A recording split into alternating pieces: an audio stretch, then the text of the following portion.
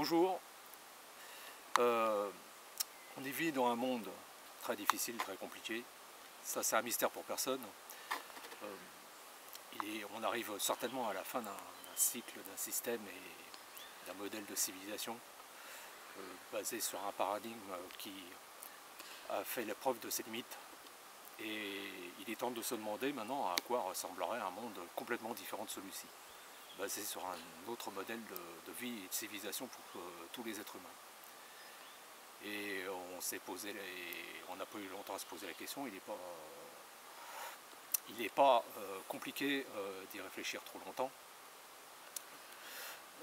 Dans un monde où, tout est corrompu, tout est inversé, où toutes les valeurs sont originelles sont bafouées, il y a quelque chose qui traite toujours en toile de fond, en plus du pouvoir et de la hiérarchie, c'est l'argent.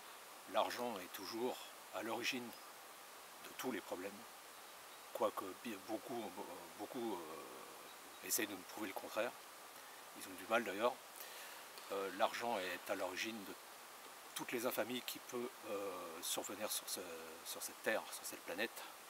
C'est-à-dire la famine, les guerres, les violences, malfaçons, la corruption, les, magouilles en tout genre, les trafics, euh, les trafics d'animaux, les crimes sur les animaux et les humains, en fait euh, quasiment tout, et puis a généré pas mal de, valeurs inversées comme euh, eh ben, l'égoïsme, l'individualisme, le recentrage sur soi et tout ça. Donc en fait il y a deux ans, on avait posté déjà deux vidéos euh, en juin 2017 sur ce que pourrait ressembler à une civilisation qui aurait aboli l'argent et tous les pouvoirs à l'État, parce qu'évidemment ça va de pair. Si on conserve les États et les pouvoirs, on ne règle rien. Il faut une civilisation euh, consciente, autonome et, unie. Et ce qui ferait notre liberté, c'est qu'on se libérera tous de l'esclavage. À partir du moment où on en fait vraiment le choix. Et donc, on avait posté donc euh, deux vidéos à partir de ça. Mais euh, l'internet c'est très bien. Et 12 ans après, ben, on, a les, on a les premiers retours, et tous positifs, sur ma chaîne, un autre horizon que vous voyez en ce moment. Et euh, rester en vidéo, bon l'internet c'est très très bien, ça permet en fait de communiquer entre personnes qui sont éloignées l'une de l'autre, surtout sur des sujets qui ne sont pas abordés si souvent que ça pour l'instant, mais qui commencent à l'être de plus en plus. Et on s'est dit que bah, l'Internet c'était bien, mais si on passait carrément à la pratique de la théorie à la pratique, et si on passait carrément, euh, directement euh, un jour au terrain. Et donc euh, bah, on a, c'est ce qu'on a fait, c'est l'idée qu'on a eue en portant le message sur le terrain, en faisant des diffusions par exemple sur les marchés, parce que sur les marchés euh, il y a beaucoup de monde, et il y a différentes populations. Et nous par exemple sur Rennes, eh ben, on, en a, on en a pas mal, on en fait 4 euh, dans la semaine. Et on, a élaboré euh, un matériel pour ça, pour faire cette diffusion et faire passer le message sans parler directement, mais que ça soit visible avec un système d'affiches que l'on agrafe euh, sur nos sacs à dos tout en faisant nos courses. Donc euh, bah, en fait voilà les messages en gros qu'on a décidé de faire passer. Par exemple, on en a quatre différents. On a pris avec des affiches euh, prises chez des marchands de fruits. On les épingle sur nos sacs à dos les, ça fait réagir les gens ou non, de différentes façons. Par exemple ceux-là, on en a quatre différents, on, les choisit euh, au fur et à mesure. Et, euh,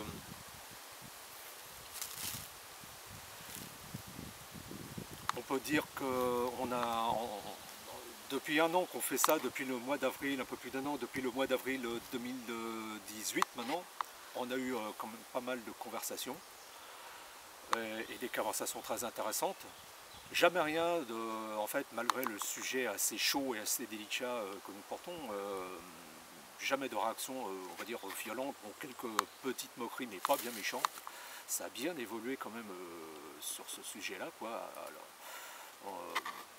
que certains peuvent sembler trop illusoires et ridicules. Bon, ça des des réactions comme ça, on en a eu, c'était prévisible. On en a encore un peu.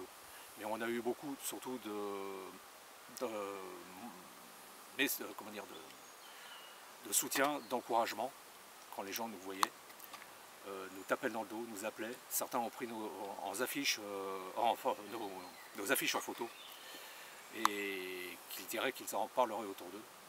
On peut donner deux, trois exemples comme ça. On a vu, euh, par exemple, sur le marché des à Rennes, un jeune qui nous courait derrière et qui nous a couru après pour nous taper sur l'épaule et il disait que bah, ce qu'on faisait, toute modestie gardée, ce qu'on faisait vraiment c'était extra. Et en fait, il se pensait seul. On a eu euh, déjà euh, quelques retours comme ça où les gens disaient qu'ils se pensaient seuls et qu'ils étaient vraiment heureux de, euh, voir bah, qu'il y avait des gens bah, qui avaient la même pensée qu'eux. Et d'ailleurs, c'est fait pour ça, du reste. Et on a eu pas mal de pas mal quand même de messages d'encouragement et, les gens commencent à comprendre qu'il y, a quelque chose à changer, que vraiment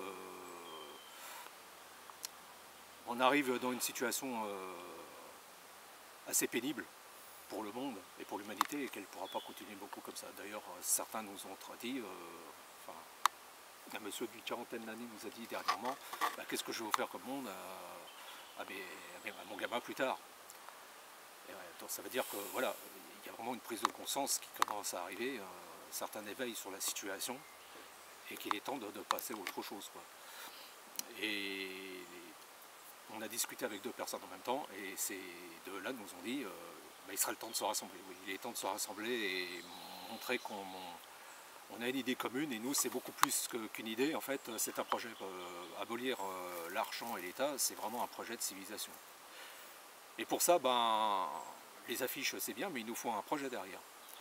Et le projet, eh ben, c'est le projet Mosika, le projet pour un mouvement, pour une citoyence, comment dire, pour une civilisation constante et autonome, qui est basée à Nancy et qui a été euh, imaginé, alors c'est un mouvement citoyen bien sûr, rien de politique et rien de syndical là, c'est purement citoyen, ça a été euh, imaginé par un monsieur qui s'appelle Jean-Philippe Hubert, et qu'on salue au passage, salut Jean-Philippe, avec son frère je crois, hein, il rectifiera si c'est pas tout à fait exact.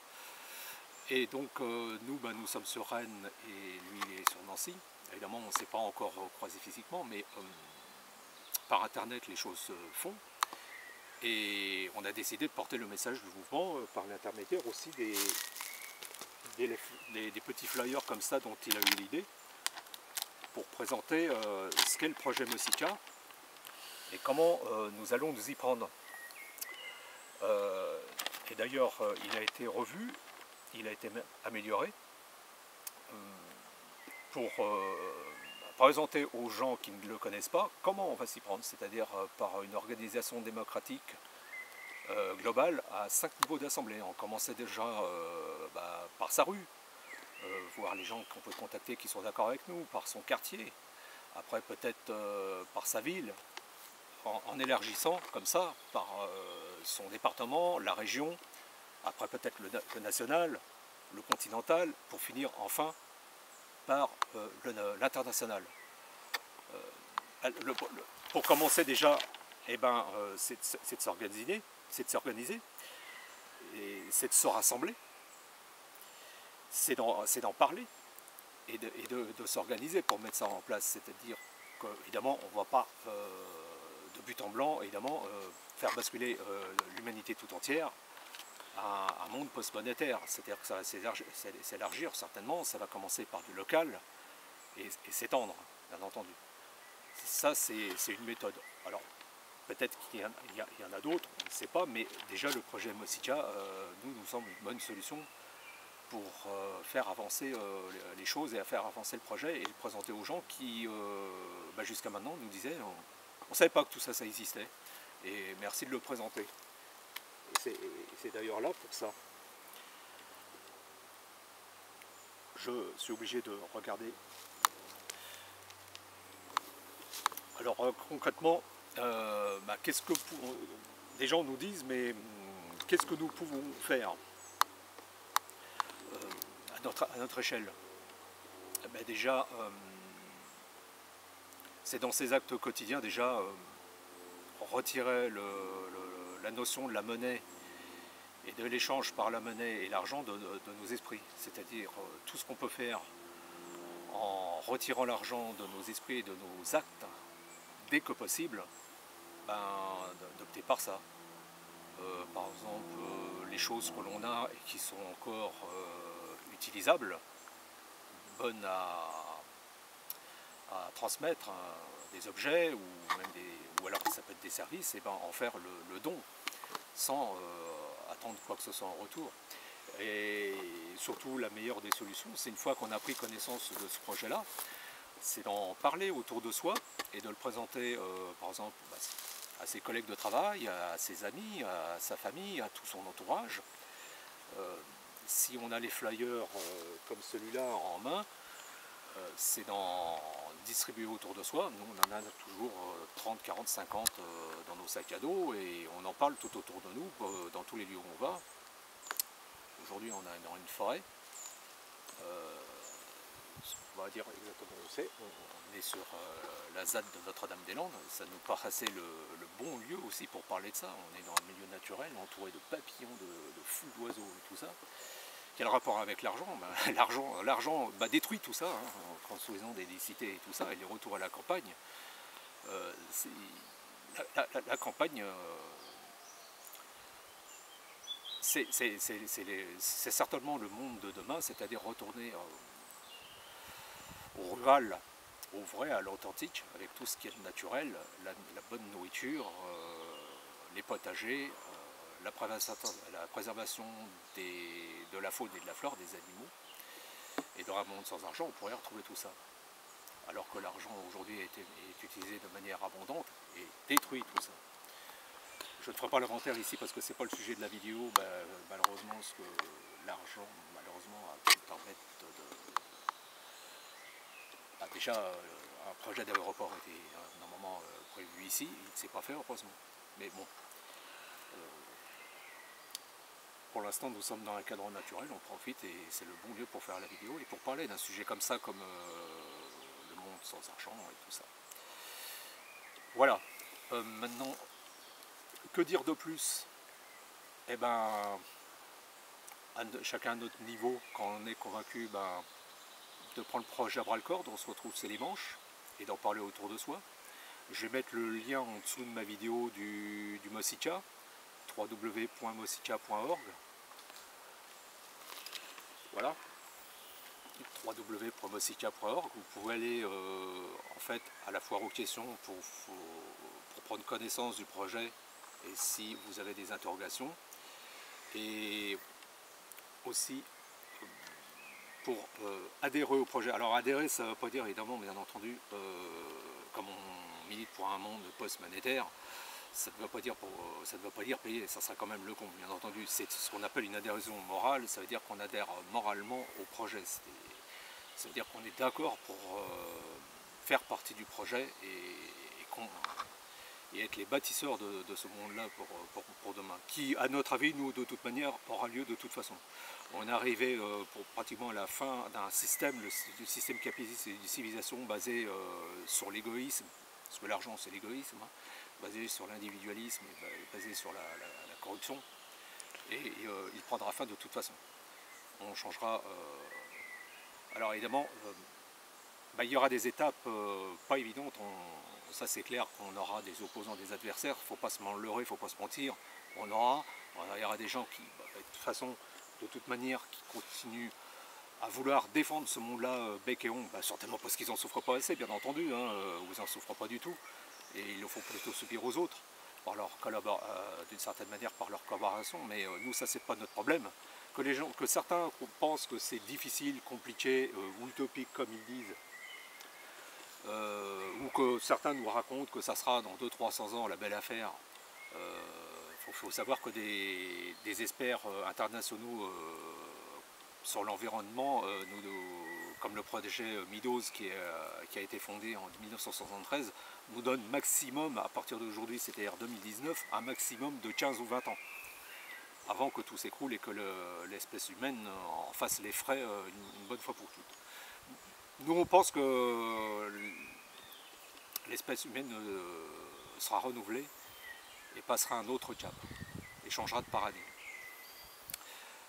Et le, projet Mosica, comme il y en a d'autres à travers le monde, je crois qu'il y a eu Ubuntu pour ça, il y a, aussi VTAM sur Lyon, avec Marchinal, vous pourrez aller voir son site, hein, vtam.fr je crois.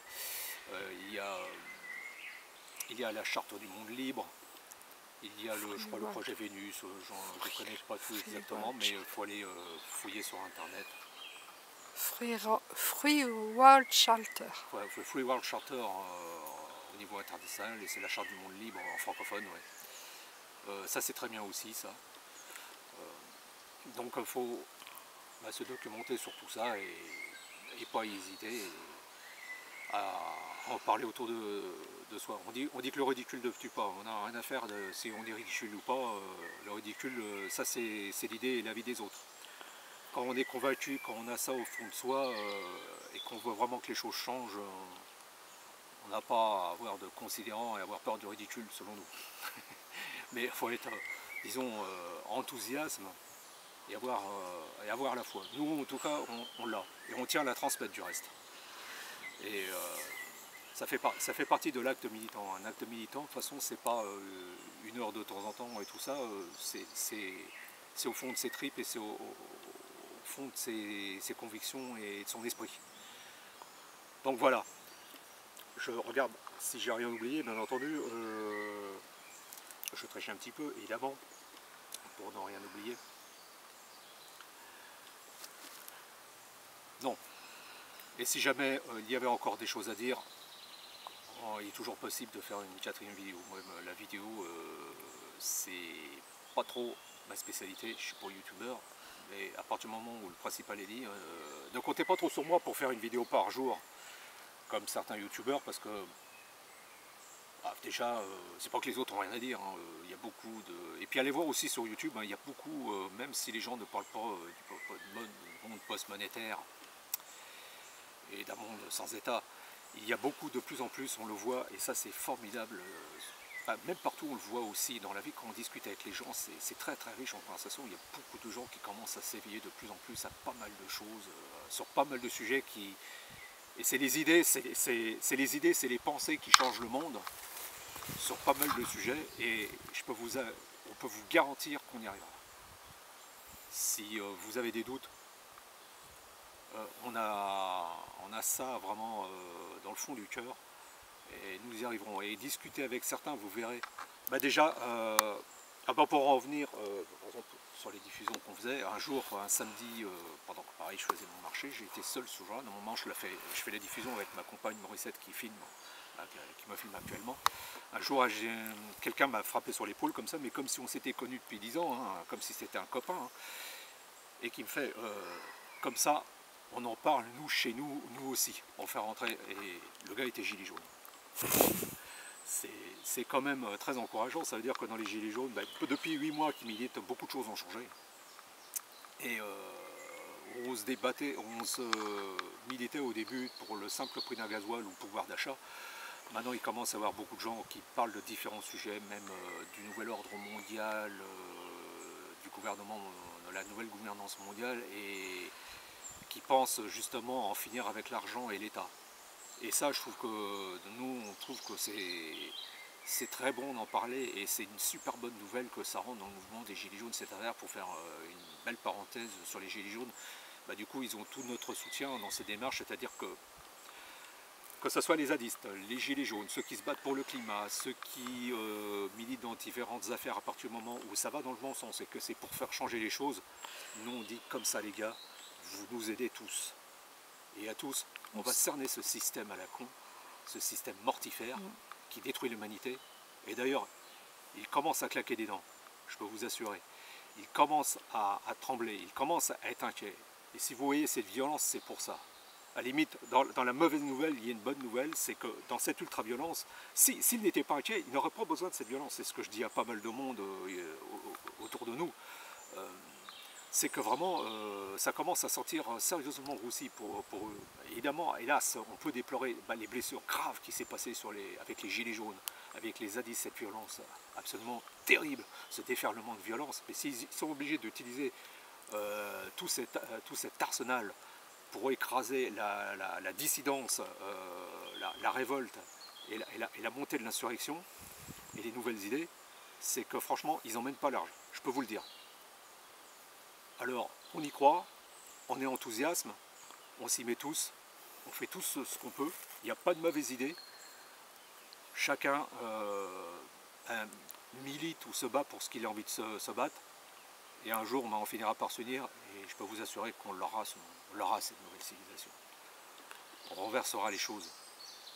Et toute cette oligarchie de merde internationale ira dans le trou béant dans lequel elle n'aura jamais dû sortir, mais où elle doit retourner. On n'en entendra plus parler. Et ça ne sera pas dans 200-300 ans, comme j'en entends certains. Non, ça sera beaucoup plus proche. Vous avez, notre parole. Enfin, vous avez notre parole. Foi d'humain. Foi d'humain. L'humanité a connu des, chaos, d'autres, euh, il y a eu des fins de civilisation, il y a eu des chocs de civilisation où, ils ont fait des erreurs et ils sont écroulés, où ils sont éteints. Mais, euh, enfin, c'est juste les civilisations. Mais l'humanité a toujours survécu, elle a toujours rebondi. On est passé de civilisation en civilisation. Et eh bien celle qui est basée sur l'argent, le pouvoir et euh, l'individualisme, celle disparaîtra et chutera. Elle sera remplacée par un autre et on repartira euh, avec un nouveau soleil qui se lève, sur un nouvel état de conscience, sur un nouvel état vibratoire, sur de nouvelles valeurs, sur de nouvelles choses, avec euh, des gens unis, intelligents, responsables, avec des valeurs humaines, d'amour et de générosité c'est ce monde-là euh, vers lequel on tend, et qu'il nous faut, qui est indispensable. Et ça, il faut qu'il y ait de, en fait de plus en plus de monde qui le comprenne, même si vous avez de votre côté, dans les conversations que vous avez, des oppositions. Alors, il n'est pas question de s'engueuler avec les gens, mais si vous avez suffisamment de foi en vous, ça, ça marchera. Euh, on, euh, en fait, c'est pas qu'on n'est pas nombreux, pour l'instant on est dispersés. Mais à la longue, on va se rassembler. Et c'est de ça qu'ils ont peur. C'est ça qui les fait trembler. Et ça, ça doit, ça doit motiver tout le monde. Voilà. Eh ben, on en reparlera euh, probablement parce que d'ici 2019, 2020, 2021, sans être euh, prophète et Nostradamus, moi je pense qu'il y a beaucoup de choses qui vont changer.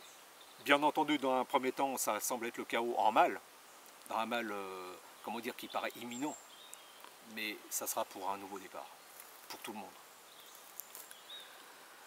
Et eh bien voilà, je vous dis salut et peut-être à bientôt pour euh, une nouvelle vidéo.